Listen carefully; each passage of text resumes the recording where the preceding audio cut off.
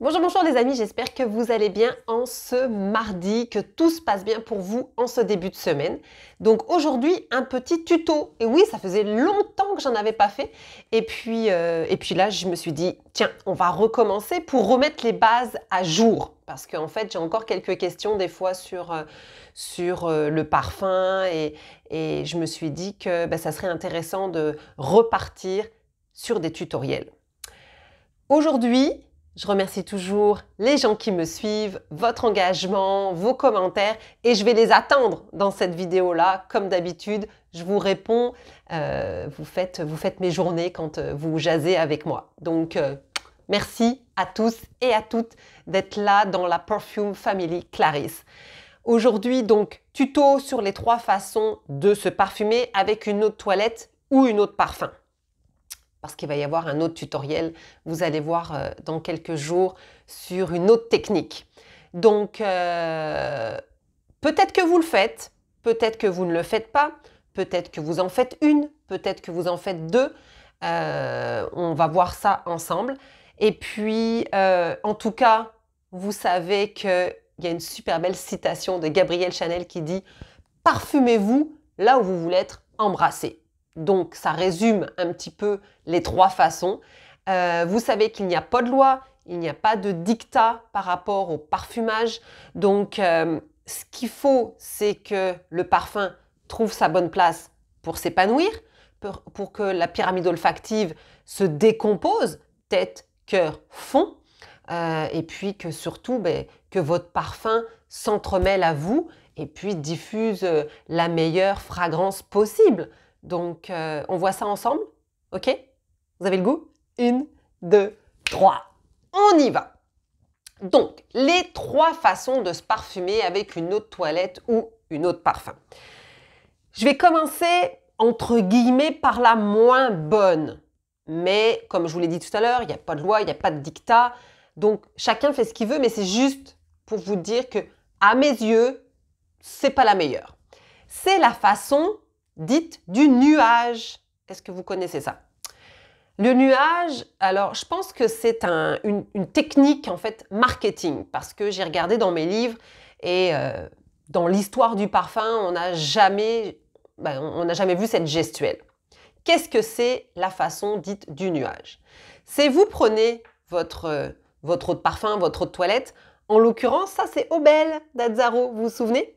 Si vous n'avez pas vu ma capsule sur ce super beau parfum d'été, vous pouvez aller là et puis regarder la capsule. Donc le nuage, c'est que vous allez vaporiser dans l'air, donc une, deux, trois, et vous allez passer dedans. Donc qu'est-ce que ça fait? Qu'est-ce que ça fait? Alors la gestuelle est belle, point positif, c'est beau, point positif, par contre, le point négatif, c'est que quand vous vaporisez dans l'air comme ça, qu'est-ce qui se passe? Les particules odorantes ben, se diffusent dans l'air. Au lieu de se diffuser sur vous, elles vont s'éparpiller dans l'air. Ça va faire un parfum d'ambiance plutôt qu'un parfum pour le corps et, pour soi. Donc, vous gaspillez beaucoup plus de parfum. Euh, un parfum, 50 ml, ça dure entre, allez, 2-3 mois si on le place bien. Qu'est-ce que ça fait aussi Quand je le vaporise dans l'air comme ça et que je passe à l'intérieur, le parfum, les molécules odorantes vont se coller ben, sur les cheveux, sur les vêtements. Mais est-ce que c'est la bonne place pour que le parfum diffuse vraiment sa pyramide olfactive, diffuse vraiment son effluve? Non, bien entendu. Faites attention si vous faites cette technique-là. Euh, les cheveux sont hypersensibles au parfum parce qu'il y a de l'alcool. Maintenant, il existe des parfums pour les cheveux. Donc, euh, je vous invite vraiment euh, à faire cette façon parcimonie. OK? La deuxième façon euh, qui est belle, qui se fait de plus en plus parce qu'il y a des fois des gens qui sont intolérants au parfum sur la peau, parce que pour diverses raisons, les gens parfument les vêtements. Alors moi, la première, je vous le dis, je le fais, mais surtout l'hiver. Donc, euh, je vais parfumer mes écharpes, je vais parfumer mes gants, je vais parfumer mes tuques, mais euh, ce n'est pas quelque chose que je vais faire l'été, n'est-ce pas? Euh, si vous voulez parfumer les vêtements, la technique, vraiment la meilleure technique, on prend toujours son de parfum, on vaporise au-dessus, au niveau du nombril et l'autre épaule. Donc ça fait épaule, nombril, épaule. OK? La technique du V, si vous voulez parfumer les vêtements. Pour les messieurs qui me regardent, si vous voulez parfumer les vêtements, donc la technique du dandy, si vous n'avez pas vu euh, ma capsule, le parfum de la sape, faites-le ici. Euh, dans votre veston, si vous portez des vestons, vous l'ouvrez et vous parfumez l'intérieur. Ça, c'est ce qu'on faisait, euh, c'est ce que les hommes faisaient dans le temps. Autrement, même technique, si vous êtes un homme casual, on parfume en V, donc épaule, nombril, épaule, même technique que la femme. Alors, c'est sûr que qu'est-ce qui va se passer? Quand on parfume les vêtements, c'est pas le meilleur support pour le parfum. Le parfum donc va rester linéaire, c'est-à-dire que au lieu de se développer dans, comme la pyramide olfactive le voudrait, note de tête, note de cœur, note de fond, le parfum va se développer en fonction de la matière sur laquelle vous allez le mettre. Donc si c'est du coton, si c'est du polyester, si c'est de la laine, si c'est blablabla. Euh, donc il va se développer là-dessus, mais il va pas diffuser sa meilleure fragrance parce que il manque quelque chose encore.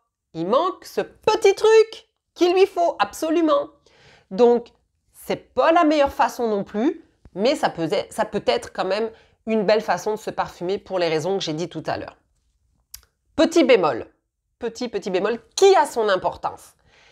Évitez de parfumer les vêtements l'été et surtout, surtout, surtout, si c'est du blanc. Donc euh, t-shirt coton blanc, chemise en lin, euh, tout ce qui est blanc. Parce que dans les parfums, il y a de l'alcool. Qui dit alcool, soleil, va tout tacher en fait votre, euh, votre tenue blanche. Donc vraiment, vraiment important. Euh, évitez aussi la soie. La soie, vous allez l'attacher. Et puis, bon, c'est pas vraiment l'époque là, mais tout ce qui est cuir aussi, ça l'abîme. Fourrure, jamais. La vraie fourrure, je parle. Hein. Jamais. Et puis, faites attention aussi euh, quand vous parfumez, des fois, les bijoux. Donc, ça peut les oxyder, ça peut noircir. Donc, OK pour la deuxième façon. Donc, je vous l'ai dit tout à l'heure, pour que le parfum se diffuse dans toute sa beauté, il lui faut quelque chose de spécial, qu'on a tous. C'est la peau. Et oui, pour que le parfum se diffuse et qu'il dégage euh, la meilleure effluve et qu'il se mette en osmose avec nous, il lui faut un support. Le meilleur support, c'est notre peau. Mais ensuite, il y a des emplacements essentiels. Je vous l'ai dit tout à l'heure, mademoiselle Chanel a dit parfumez-vous, là vous voulez être embrassé. Donc, premier emplacement, vous allez vaporiser donc le poignet. On fait une vaporisation sur le poignet. Surtout, surtout, on ne frotte pas parce que vous cassez les molécules. Vous vaporisez deuxième poignet si vous voulez. Vous pouvez vaporiser donc au niveau du creux, du coude. On peut vaporiser derrière les genoux nous, les femmes, l'été, quand on est en robe, on pourrait vaporiser derrière les genoux. Et la place, la meilleure place intime qu'on aime, c'est derrière donc les oreilles. Vous vaporisez de bah, une vaporisation derrière chaque oreille. Donc là, c'est les points de pulsation. Tout simplement. Les points de pulsation, donc c'est le regroupement, comme vous pouvez voir sur vos poignets, le regroupement de tous les vaisseaux sanguins. Et puis, c'est là où c'est propulsé, donc dans les endroits stratégiques du corps. Et c'est là que la chaleur se fait. Donc, le parfum a besoin d'une part de la peau et d'une part de la chaleur, du contact pour évoluer. Euh, là, vous allez me dire, oui, mais. Alors, je le sais, il y en a qui vaporisent le buste. Qu'est-ce que ça fait si vous vaporisez le buste là? Dans quelques années, je vous le dis, vous allez avoir des taches pigmentaires. Parce que dans les parfums, dans les notes de tête, surtout, surtout, surtout, il y a des agrumes. Et les agrumes, c'est photosensibilisant au soleil. Donc, euh, donc voilà, le risque est là. Euh, maintenant, il n'y a pas de loi, il n'y a pas de dictat.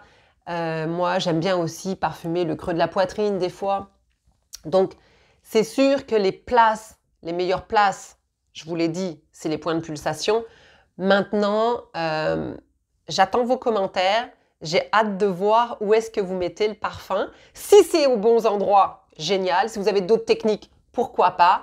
Euh, c'est toujours euh, avant-gardiste des fois d'essayer des, points de, des points de parfumage. Ceci étant, depuis des siècles et des siècles, la femme se parfume à ces endroits-là.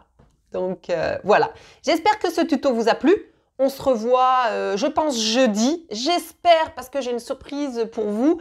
Euh, autrement, ce sera une autre vidéo. Et puis, il y aura sûrement un autre tuto euh, la semaine prochaine ou dans deux semaines, si ça vous a plu. Donc, j'attends vos commentaires. Je vous souhaite une excellente semaine. Et puis, prenez soin de vous. Je vous dis bye bye et merci beaucoup. Bye bye.